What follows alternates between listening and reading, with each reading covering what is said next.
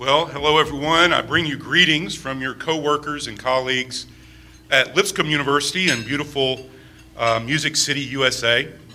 Uh, I speak uh, several times a year, and uh, I have never been introduced by someone who knows me so well and who has known me for so long as Foy Mills. And it's true, uh, we have, uh, we have um, spent a lot of time together and have traveled a lot, and he has seen the best and worst of me. And um, I have stories on him, so he needs to be careful about telling stories on me. Uh, well, this morning we're going to spend some time talking about being Christ centered in the academic enterprise. Um, your president uh, reached out to me uh, shortly after he was named uh, and uh, asked me if I could come and visit first with the board, and we had a wonderful visit uh, this summer, and now to visit with representatives of the faculty.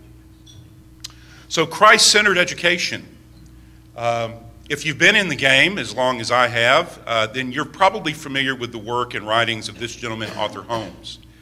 Uh, in the early 1970s, he published a book entitled The Idea of a Christian College, and it was uh, partly, I think, an indictment of what Christian education had become by the 1970s.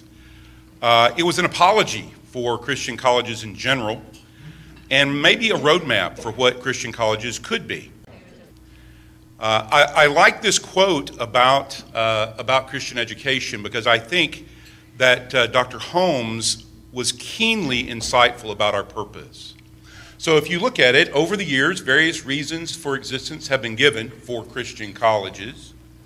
Sometimes protective or apologetic, sometimes pietist or missionary, sometimes vocational. Yet, underlying it all was a basic conviction that Christian perspectives can generate a worldview large enough to give meaning to all disciplines and delights of life. I don't pretend to know the circumstances that gave birth to Lubbock Christian University or what the vision was in the beginning, lo, those many years ago. Perhaps the school was born out of a sense of being protective or apologetic. Perhaps the school was born out of a sense of carrying the Christian mission forward not only here in the panhandle of the Southern Plains, but also around the world. Or perhaps it was designed for folks to incorporate, for your students to incorporate a sense of faith in their vocation. I don't know. But what I do hope and that I do believe is that your job, the job of all of our Christian schools, is to create within our students a worldview that gives meaning and purpose to life. Not meaning and purpose to their vocation or to their family or to their church, but meaning and purpose to all things that their life touches upon. Well, the question then is how do we do that? So, a few years after Arthur Holmes, we have David Dockery. And some of you, I'm sure, have read some of the things that Dockery has written. Now he is chancellor of Trinity College. He was the author and sort of the main proponent of this concept of faith informed teaching. And listen to what Dockery says about our job. The challenges facing Christian colleges and universities cannot, by, cannot be neutralized simply by adding new facilities, better campus ministry opportunities, and improved student life programs, as important as these things may be. And they are important. And you would be foolish not to invest in those things. They are very important for carrying out our mission. But they exist as things that are on the boundary of our mission. They are not the core, the center of our mission. They exist out on the boundary. They are tools that enable us to do the things that are at the center. He goes on to say, our 21st century context must once again recognize the importance of serious Christian worldview thinking as both necessary and important. Dockery agrees with Holmes. It's about creating within our students a Christian worldview that gives meaning.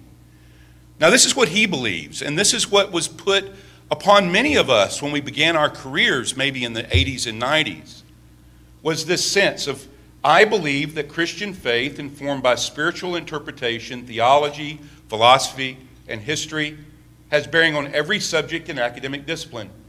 While at times a Christian's research, the scholarship that we're celebrating today, in any field might follow similar paths and methods as the secularist, Doxology, at both the beginning and the ending of one's teaching and research, marks the works of Christian educators from their secular counterparts. He says it is about the doxology. Praise God, from whom all blessings flow. We connect our work to, the, to, to God and we, we call blessings on His name.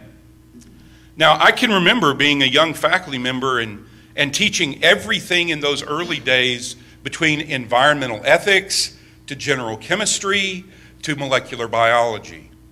And I can remember being asked to write a, a philosophy of teaching where I was encouraged to actually articulate specifically how I would connect my Christian faith to general chemistry.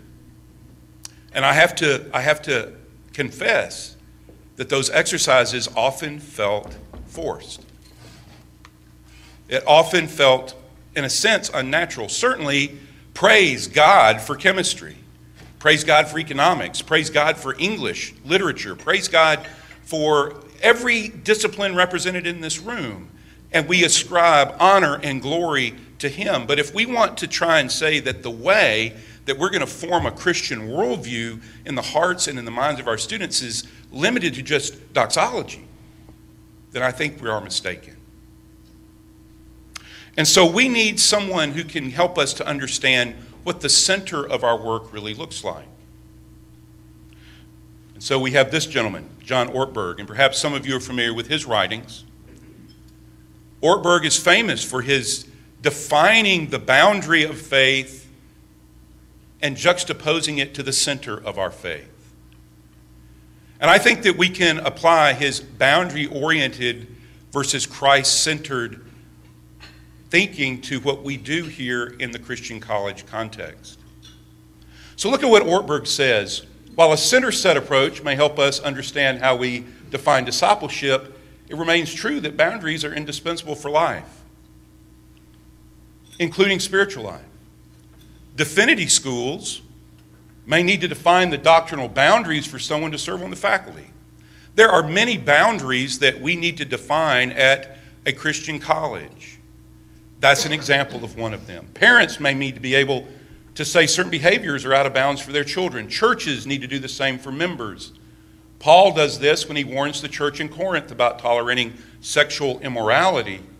And perhaps the most famous warnings in religious literature are given by Jesus himself about hypocrisy. In fact, it is precisely because Jesus is so clear about the center. And this is what's important the center is to love God with all your heart and to love your neighbor as yourself. He is so clear on that that he is able to be clear about his warnings when someone is violating love. You know, all those boundary issues are important, friends. All of those things that Dockery acknowledges as important, they are important. But simply calling out doxology at the beginning of our work and the ending of our work isn't enough to create a worldview that will allow our students to stand in this culture. No, we have to be a people that are characterized by this radical sense of love. The center of what we do at Lipscomb University, our provost is famous for saying he only wants to hire people who love God, who love their discipline, and who will love our students. You know, we have to do the boundary things as well. But the thing that's defining our work in Nashville is love. And if we want to carry out God's mission in a Christian college to form a worldview in our students, it begins with love. I really appreciate Carl McKelvey. Carl was our executive vice president at Lipscomb for many years. In his retirement, in his retirement, he has, he has run our Center for Spiritual Renewal. He is a workhorse who never gets tired. This is what he says. Christ centered education is not secular ed- education with add ons, where we might say we're just like or just as good as UT. By the way, that's 1794 UT, Knoxville, Tennessee. Now, if you want to pretend like it's the new kid on the block down in Austin, you're more than welcome to do that. But we're not pretending like we're just like UT, but with add ons. We have the add ons of chapel and Bible classes, and that's what makes us Christian. Those are boundary issues. That's not at the heart of what makes us a Christian institution. No, Christ centered higher education is different from the core because it is centered around the Christian in the classroom approaching their discipline as a Christ follower, sharing it with help from divine insight in a relational way with their students. It's about the relationship. This is what it looks like it is loving God with everything you have, and then shining that love into the life of another human being. So, this morning, I want us to spend some time thinking about that and answering two questions. So, these are the two questions that when you leave here today, I want, I want these questions to be on your mind. I hope that they spark conversations with you in your departments. The first question why did I choose to serve at Lubbock Christian University? I want you to spend some time thinking about your why. This summer, when I met with your board, I asked them to imagine why anybody would want to do what you do. We spent some time brainstorming and thinking about why anybody would want to do this. This thing that you have decided to do, to be at this place, at this time, doing this work specifically. For some of you, it may have been a while since you thought about your why. The second question I want you to struggle with is how I can create Christ centered interactions in the classroom and beyond. Not just to remember why you're here, but to think about how you are going to personally go about forming a worldview in somebody else. Now, Foy tells me he shared with you my Venn diagram. This is something that I developed years ago to help students as they struggle with what am I going to do with my life? How many of you have those conversations with kids? They come to your office. I just don't know what I'm, I don't know. I, you know, I'm studying this, but I don't know. And so we sit down and we work through questions, and I ask them, "Well, tell me, how are you gifted? What things has God? What, what are the things that God's placed in your life that make you special and different?" And then I say, "You know, what about your passions? What are the things that when you don't have to do anything, when your mind can just relax and and you can let your mind wander to wherever it, it goes to. Well, what are those things that draw your attention that you're not you don't have that you don't have to think about? The things that you get excited about that give you life. And then lastly, what do you value? You know, people value all kinds of different things. Wealth and status. That's why all of you chose to work in higher education, Christian higher ed agency in time, family, human relationships, so many different things that we value. You know, I, I tend to work and have worked primarily with pre professional students through my career. Lots and lots and lots of college kids that want to be doctors and dentists and physical therapists and pharmacists. Most of them have a gift for understanding science, it's natural. Most of them have a great passion for helping people. And if they're honest with themselves, most of them place a high value on status and money. Nothing wrong with status and money if you use it well. So I want you to think right now for yourself why are you here? If you were to answer those questions, how did those questions lead you to this place at this time to do this work? You know, I've been doing this for a long time, friends, and and it doesn't take me long when I step onto a campus and begin interacting with people to identify the ones that are here for different reasons. And I can usually sort them into three basic groups. The first group at most at many Christian colleges that I'll identify are the ones I call the refugees. These are folks who love their scholarship and have a great gift for it but there are also folks for whom the world is too difficult to navigate. And so they find their ways into these Christian communities where it's safe and it's easy. They're not challenged in their belief system. They're free to pursue the things that they're passionate about without molestation. I have found that the group that this group is often characterized by people who have an excessive amount of grievance, who contribute little to building the community but enjoy it immensely, and who rarely have meaningful mentoring relationships with students. The second group I call the builders. This group is, they, they are here for the express, express purpose of building the Christian community. They're not confused about their mission, they're not confused about what they're trying to accomplish. These are the people that create the community that the refugees enjoy. They're the first ones to pitch in and to say, I, Tell me what you need me to do. I'm all in for this school. They have great effect on the community, and they are looking for strong mentoring relationships. And then you have the third group. I call this group the disconnected. They used to be in the second group, they used to be a builder. But they've become disconnected from their why. For 12 years, y'all, I, I led a Department of Biology and Biomolecular Sciences. If you include adjuncts and graduate assistants, faculty and staff, I had 24 direct reports. I, imagine, I managed a combined annual budget of about $2 million. 350 undergraduate students, 35 grad students. I was responsible for everything. How difficult would it be for me to become disconnected to my why? And just focus on all of these urgent things that I, I have to do. In my current role, it's a very simple word strategy, isn't it? I'm responsible for finding ways now to make connections with external constituencies, for raising money, for faculty development. It would be so easy for me to get lost in the day to day urgent things that I have to accomplish that I could get disconnected from my why.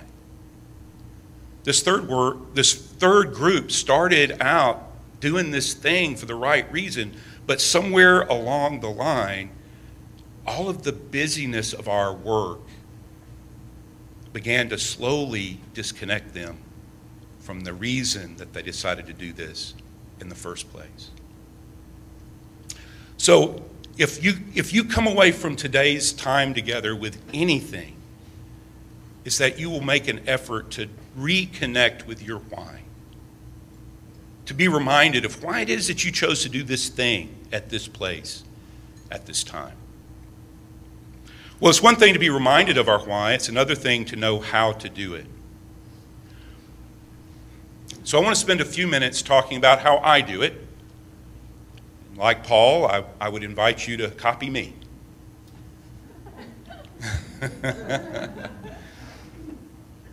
So, how do you do it? Well, I'll tell you something. My wife and I have been married 35 years, and we hold hands.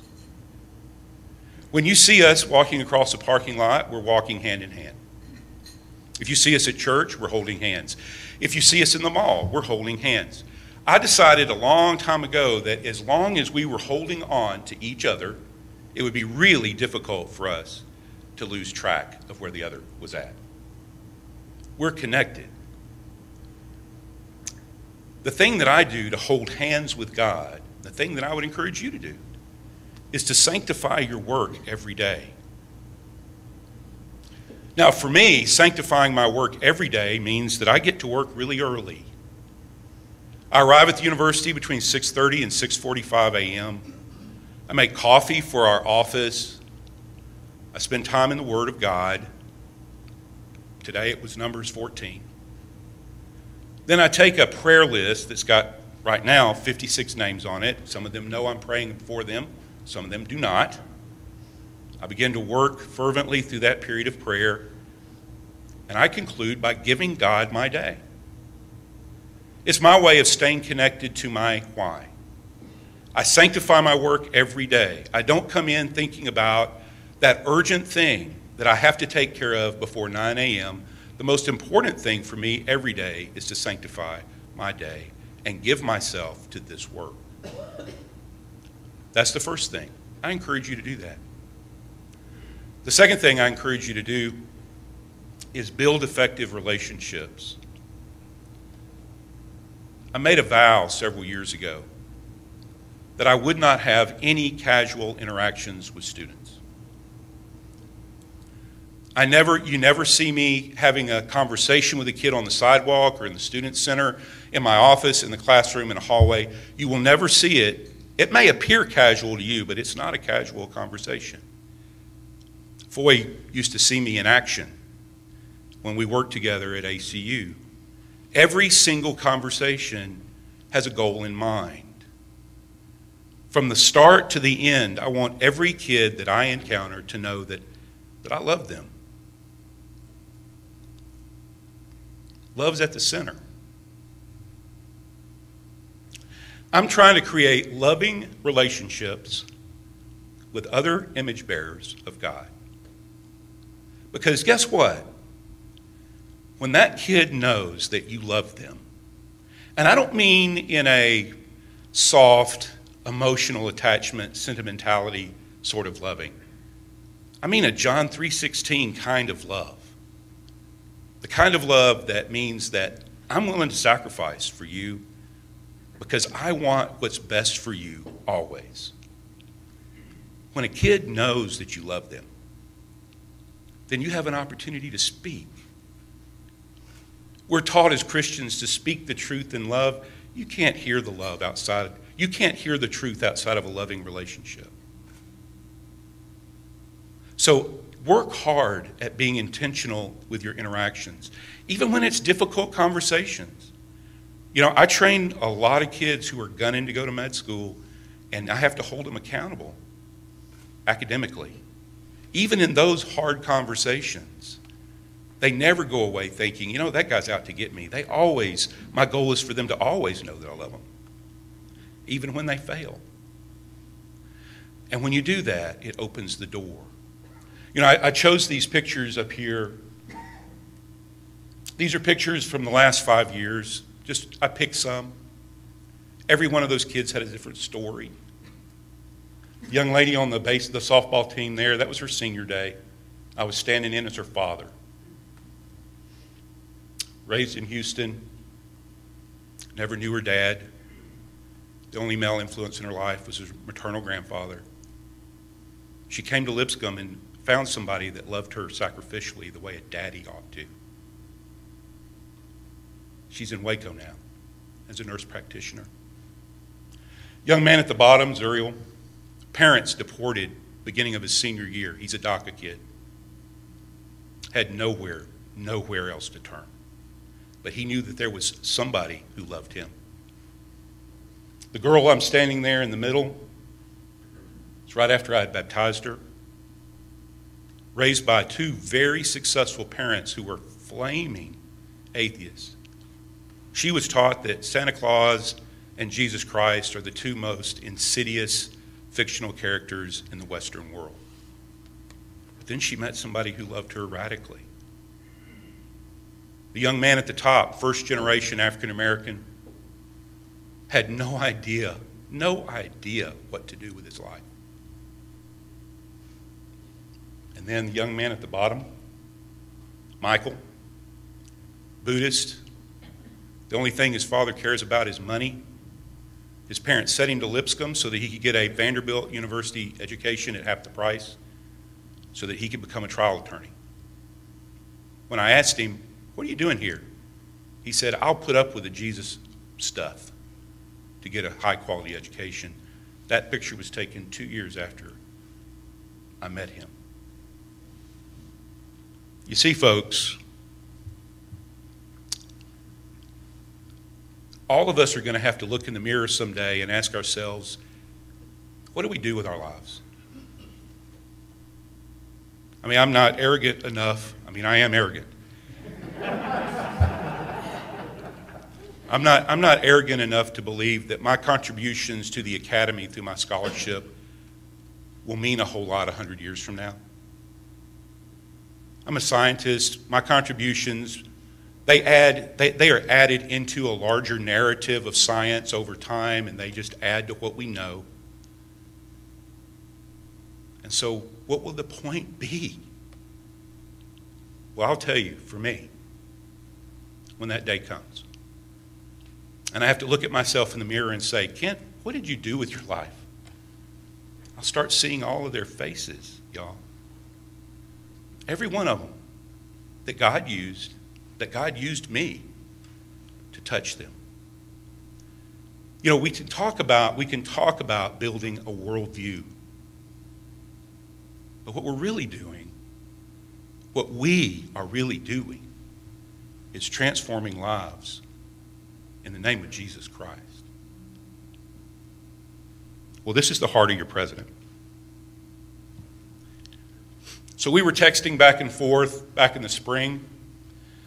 And I was like, well, you know, what do you want me to come and talk about, Big Mac? We, we, have, we have little pet names for each other, me and your president. Mine is G Daddy, okay? If you beat somebody enough in the racquetball court, they start calling you Daddy.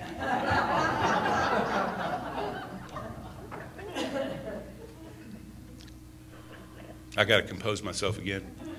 This is your president's heart. He wanted me to come and try to help you to understand, get some insight into his mind. I know some things about Scott McDowell. We are similar in a lot of ways. We're both gigantic men. We both outkicked our coverage when we chose a wife. And we both desperately, and I mean desperately, want to make a difference in the lives of young people. And your president recognizes that at this university, you are the people who will do that. Yes, we want a Christ centered athletic program. And yes, we want to have a Christ centered co curricular and we want a Christ centered residence life program. But the people that are going to transform lives on this campus, that's the faculty. And I want you to know that your president recognizes it. He believes in you. Look at what he says. Christ centered just means Jesus as the center and object of our work, and that we are always moving toward him as our focal point, embracing his words and his ways. This is also informed by a contrast of Christ centered versus boundary orienting. We were, we were discussing in that text stream uh, Ortberg's work. The Pharisees are the classic example of being boundary oriented. If you press them, and Jesus did, they would tell you that it was all about the Shema love God with all you have. They also knew loving people was the second commandment, and yet they had devolved into a focus on boundary issues of circumcision, circumcision, ceremonial washing, Sabbath keeping, because they were clear markers of who was in and who was out. It manifests in Christian college settings when you focus on chapel requirements and Bible requirements and ignore the, look at what he says. This is your president's words. The most significant interactions that happen in every classroom and every office. What you do is the most significant thing that is accomplished on this campus. Your love of God manifested in a love for your students is the most important thing that's going to happen on this campus. And this is what he ends with I want Jesus to be the center of all that we do at LCU. And I think that the most critical place for that to happen is in our classrooms, our core business, and our most profound place of influence. There's somebody here from marketing that needs to be somewhere because it is, gives you keen insight to the man and his vision for the university. Well, I ask God in this very moment to bless all of you in your work. I pray that God will place his love in your heart so that you can focus your love on these students. In the name of Jesus, amen. Thank you all.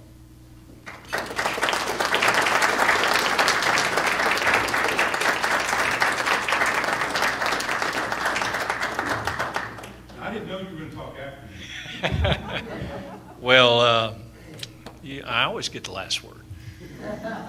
So I want to say thank you, uh, and I will keep my comments brief. You're going to hear more than you want to hear from me this week. But thank you. Thank you, first of all, Monica Williams, for putting this together and for being, she's been a part of the Inauguration Week Committee, and I thank you for all that and for the, the focus on scholarship this week. uh, this is our core business, and I, I'm grateful. So thank you for that and for those that put this luncheon together. I also say thank you to you, every one of you faculty members, because absolutely, the things that he's quoting me on, I absolutely believe you are carrying forth the core business of this institution. And for years, Kent knows that my shtick was, well, 90, 90% of students' time is outside the classroom, and that's mine. He would like to always remind me, well, yeah, but the ones that I have anything to do with are spending a lot of their outside the classroom studying for my inside the classroom. But the reality is, I recognize this is the core business. And it's all about, as he's described, the, the, your why, and that we're here to, to change lives. I, uh, so thank you, and I recognize that. And as he was calling us to reflect, one of the things that I reflected on is why I am doing what I'm doing. And part of why I'm doing what I'm doing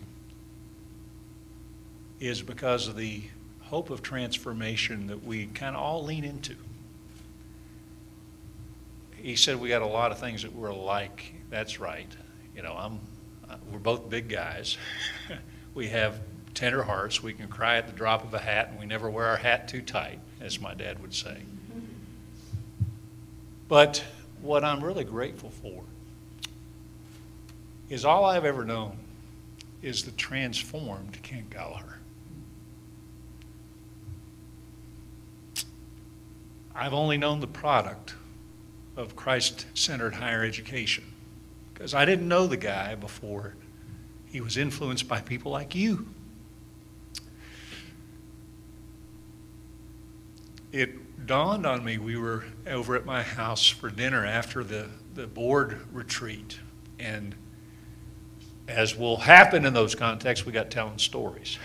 and if you want some good stories, G Dog, G Daddy, all these little pet names, I don't like what you said about beating me enough on the racquetball court that I call you Daddy.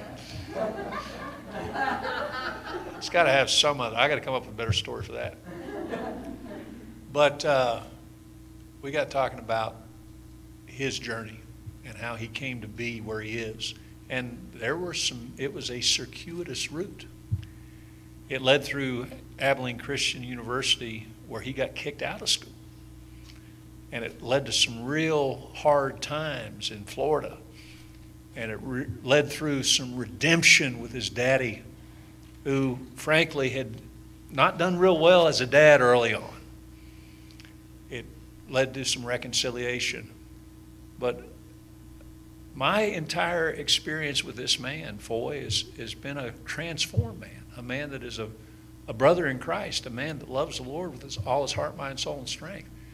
And that started on a Christian college campus where people cared enough to, to not just share the discipline in brilliant ways. Bledsoe's actually quoting Richard Felix from Azusa Pacific by way of me, and I'm going to get on Craig Bledsoe for quoting me by way of Felix without giving Felix credit. Felix was the president before two, three presidents back at Azusa Pacific University. He said, All parents want to know is do you love your Lord? Do you love your discipline? And do you love your students? And so I had this relationship with a friend now that spanned 20 plus years where we encourage each other constantly. He prays for me every day. I pray for him when I remember to. and we share texts back and forth, and we are iron sharpening iron because of people like you in classrooms like ours that took their work seriously. So thank you for what you do.